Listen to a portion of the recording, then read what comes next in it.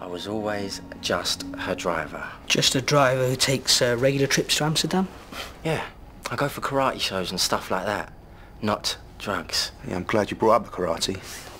We found a poster of you holding a weapon. Uh, and Mr. James has explained that he performs self-defense exhibitions. That knife was uh, for a specific event.